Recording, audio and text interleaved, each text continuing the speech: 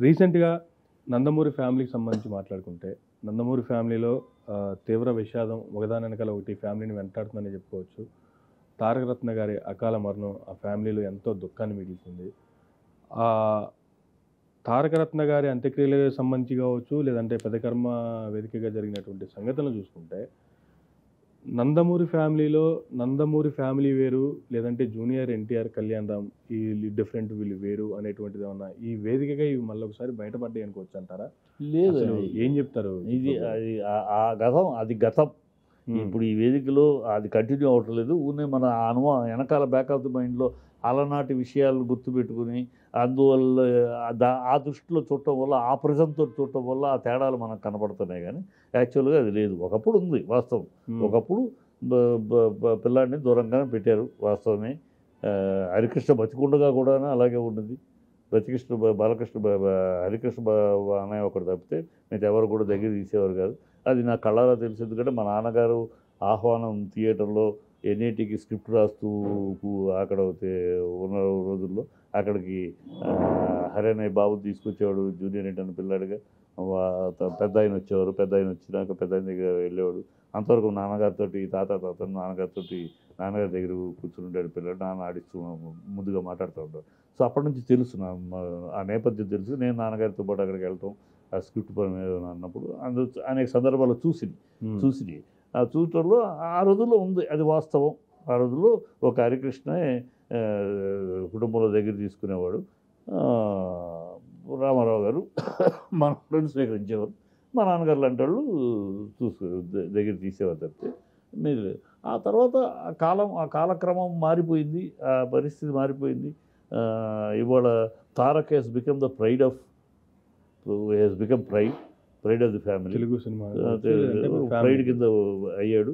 So అందరూ కూడా కుటుంబం కూడా ఇప్పుడు దూరం ఇండస్ట్రీలో చూసుకున్నా కూడా బాలకృష్ణ గారి తర్వాత ఆ లెక్సన్ కంటిన్యూ చేస్తున్న నందమూరి వరుసగా ఎన్టీఆర్ గారు. తారక్. ఎన్టీఆర్ కాదు ఎన్టీఆర్ ఓన్లీ వన్ అంటే ఎన్టీఆర్ అంటే జూనియర్ ఎన్టీఆర్. జూనియర్ ఎన్టీఆర్ కూడా అనద్దాం మాకు తనకు కూడా ఇష్టం ఉండదు junior NTR. Okay. There is no only one NTR in the Telugu ఇండస్ట్రీకి తెలుగు జాతికి తెలుగు ఇండస్ట్రీ తెలుగు జాతికి only one and only NTR. No see junior NTR no senior NTR Tarak అది ఎన్టీఆర్ ఆయన ఒకడే. ఆయన ఆ పేరు చిరస్థాయి ఎన్టీఆర్కి ప్ర తెలుగు చరిత్రలో తెలుగు జాతి చరిత్రలో ఆ పౌరుషానికి తెలుగు పురకి ప్రతీక ఆ నందమూరి తారక రామారావు ఆ ఎన్టీఆర్. ఆయన Hmm. ఒకరే. ఇంకొక ఎన్టీఆర్ మనం ఉన్న పెట్టడం కరెక్ట్ కాదు అది. ఈవెన్ తారక్ కూడా డజన్ లైక్ ఇట్. తారక్ కూడా నన్ను జూనియర్ ఎన్టీఆర్ అనొద్దనే అంటాడు. నన్ను. తారక్ అనే అనమంటాడు. సో ఎందుకంటే ఆ- ఆ- ఆ- ఆ నేపథ్యం మారిపోయింది. ఇవాళ ఇక్కడ పరిస్థితి ఇవాళ బాలయ్య అంటే ఇవాళ ఇంటికి పెద్ద దిక్కు కుటుంబానికి. మీరు అదొకటి గమనించాలి. బా రామారావు గారి ద్వారా బా హరేన్నయ్య హరేన్నయ్య చూసుకునేవాడు. ఏ విషయం వచ్చినా అప్పుడు ఆ టైంలో హరి ఉన్నంతకాలం ఏదైనా కుటుంబ సంబంధం ఏదైనా కుటుంబం మంచో చెడు ఏ విషయం వచ్చినా హరి పెద్దగా ఉండి ఆమె తనే ఎవరితో ఏం మాట్లాడాలి మాట్లాడేవాడు. సో ఆ పెద్ద దిక్కుగా తను ఉండేవాడు. ఆ హరి పోయిన తర్వాత అరణ్య పోయిన తర్వాత ఆ పెద్ద దిక్కు స్థానం కొంచెం ఖాళీ ఉండింది. ఎవరు ఎవరు అది కూడా బాలకృష్ణ ఆ పెద్ద కుటుంబానికి పెద్ద అనే స్థానంలో తను కూర్చున్నాడు. కూర్చున్నాడు. కనుక ఆ అందరి దృష్టి కూడా ఇప్పుడు బాలయ్యని ఒక బాబాయ్ అన్నయ్య అనే పరిస్థితి కాకుండా ఇప్పుడు తారక రామారావు చే- తారక రత్న గారికి కావచ్చు బాలకృష్ణ గారికి కావచ్చు ఉన్నటువంటి అనుబంధంతోనే ఇప్పుడు ఆయన ఫ్యామిలీని ప్రొటెక్ట్ చేసే పనిలో ఉన్నారంటారా? లేదంటే అసలు మామూలుగానే హోల్ ఫ్యామిలీకి ఆయన పెద్ద దిక్కు ఉన్నారు? హోల్ ఫ్యామిలీకి టోటల్గా నందమూరి ఫ్యామిలీకి పెద్ద దిక్కు అయ్యాడు. Not only the situation not only the situation పెద్ద దిగ్గుగా ఏదున్నా సరే ఆ కుటుంబానికి సంబంధించి వాళ్ళ హరి అన్నయ్య లేని లోటుని వాళ్ళ బాలయ్య పూర్తి చేసే పరిస్థితులు ఆ పెద్ద దిగ్గుగా ఆ, నిలబడ్డాడు. ఆ నిలబడటంలోనే మొన్న ఈ అంతా కూడా ఇంత హాస్పిటల్కి వెళ్ళి ఇంత తపన పడి ఇంత వేదన పడి అన్ని బాధ్యతలు నెత్తిన పోసుకు అన్ని పక్కన పెట్టేసి దీని మీద కాన్సన్ట్రేషన్ అనేది ఆ ఆ బాధ్యత నెత్తి మీద పెట్టుకున్నా పట్టుతారు. నేను ఉండాలి కుటుంబానికి పెద్ద ఒకళ్ళు కావాలి. ఆ పెద్ద అన్నయ్య ఉండేవాడు మొన్నటి దాకా ఇవాళ నేను తీసుకోవాలని ఆ నిర్ణయం ఉండబట్టే ఆ బరువు మోస్తాడు బరువు బరువుని కాదు ఆ బాధ్యతను మోస్తున్నాడు. సంతోషంగానే మోస్తున్నాడు. అందుకనే ఆ యాటిట్యూడ్లో కానీ తన అందుకు తేడా. ఇవాళ వీళ్ళందరూ కూడా కుటుంబం అందరూ కూడా ఇప్పుడు ఆ దృష్టిలో మన పెద్ద కుటుంబ పెద్ద దృష్టిలోనే ఉన్న చూస్తున్నారు. బాలయ్య ఆ బాలయ్య అందువల్ల ఇక్కడ బాలయ్య కుటుంబ పెద్ద స్థానంగా ఒకళ్ళు తక్కువ ఒకళ్ళు తక్కువ ఎక్కువ చేసే సీన్ లేదు ఉండదు. అందులో అలా ఉండబట్టి తను అన్నయ్యని కూడా కన్విన్స్ చేశాడు ఈ పిల్లాడి విషయంలో. తొమ్మిదేళ్ళు దూరంగా ఉన్న కుటుంబాన్ని బాలయ్య కూర్చోబెట్టి "త- అయిపోయింది పదేళ్ళు అయిపోయింది కనుక మనం ఈ ఇక అవి పెట్టుకోవద్దని చెప్పి కలిపాడు. ఈ ఇన్సిడెంట్ కంటే ముందే ఈ ముందే కలిపాడు. కలిపినా ఇంకా ఈ రాకపోకలు ఇంకా ఈ గెల్ టుగెదర్స్ ఈ ఇంకొంచెం టైం అయ్యే లోపు ఇంకా టైం పోరుకొని కలిసి బాగా దగ్గర అయ్యేది. ఈ లోపల ఆ మాత్రం జరిగింది అనుకో. ఇంకో విషయం అసలు మనం స్టడీ చేయాల్సింది ఏంటంటే ఈ కుశేతర కుటుంబాల్లోనూ నందమూరి కుటుంబంలోనూ ఒక నేపథ్యం ఉంది. ఉమ్, ఆ నేపథ్యం తెలిసిన వాళ్ళకి అసలు ఇవన్నీ ఈ తేడాలుగా అనిపించదు.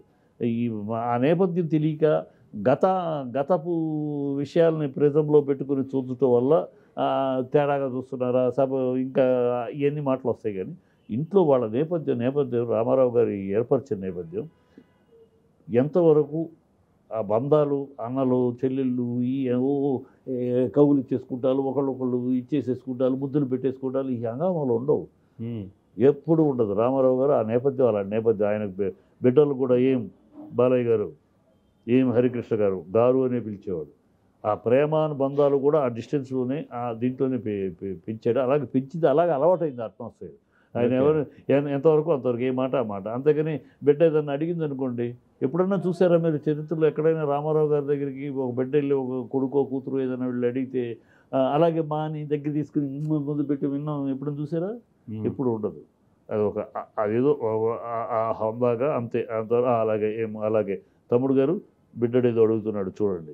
ఇట్లాగే ఉంటుంది. ఆ- distance of showing affection showing of affection and రిలేషన్ని ఆ పరిమితిలోనే పబ్లిక్లో ఉంటుంది తప్పితే ఆ పబ్లిక్లోకి వచ్చేటప్పుడు ఇతర ఫ్యామిలీస్లో చూపించే హంగామానో హడావిడినో క- కౌగులింతలు ముద్దులు పెట్టుకుంటాలు ఇవన్నీ ఇక్కడ ఉండవు. ఇక్కడ ఉండవు. అది రామారావు గారు ఆ నేపథ్యంలోనే ఆ కుటుంబం నడుస్తుంది. ఎప్పటికీ ఎక్కడైనా కలుసుకున్నారు అనుకోండి ఆ అన్నదమ్ములు ఏదో ఈ- విషయమే ఇంకో విషయం ఎక్కడైనా కలవాల్సి వచ్చింది అనుకోండి ఏదో ఫంక్షన్లో. అంతే ఒకళ్ళొకళ్ళు ఒకటి అనగా అరకపోతే వాళ్ళు వాళ్ళు వస్తారు ఈ మోహన్ కృష్ణ కూడా వస్తారు వాళ్ళు వచ్చారు అనుకోండి. ఐదుగురు అంత పలకరిస్తుంటారు హాయ్! అని అంటారు. ఇవన్నీ ఉండవు అక్కడ. అంటే సీ- పెద్ద దిక్కుగా బాలకృష్ణ గారు ఉన్నప్పటికీ కూడా కానీ జెంట్స్ని తీసి పక్కన పెడితే ఆ ఫ్యామిలీలో ఉన్నటువంటి లేడీస్ మరి ముఖ్యంగా హరికృష్ణ గారి అమ్మాయి సుహాసిని గారికి జూనియర్ ఎన్టీఆర్ గారు అంటే అసలు ఇష్టం లేదు. ఆ ఫ్యామిలీలో కలవడానికి ఎటువంటి చిన్న స్కోప్ వచ్చినా కూడా చాలా వ్యతిరేకిస్తారు అనేటువంటి కామెంట్స్ కూడా కొన్ని రన్ అవుతున్నాయి. ఉన్నాయి. గతంలో ఉన్నాయి. ఎన్ని గతంలో? ఈ గతంలో ఆ అమ్మాయి ఆ పిల్ల ఎక్కువ రిజెక్ట్ చేసింది. ఒక ఆడపిల్లగా. మా నాన్న ఇంకొక ఇంకొక తల్లి నువ్వు మా నువ్వు మాతో ఎట్లాగో అనేది ఒక ఆ పిల్ల ఆ డేస్లో. బాగా చిన్న వయసులో బాగా రిజెక్ట్ చేసింది. ఉమ్, రిజెక్ట్ చేసింది బట్ అది కా కాలగమనంలో అది కూడా లేదు అన్న. అది మన అందుకని చెప్తున్నా పాత ఈ మైండ్లో పెట్టుకుని అది రిఫార్మ్ చెందిని అవి మారిని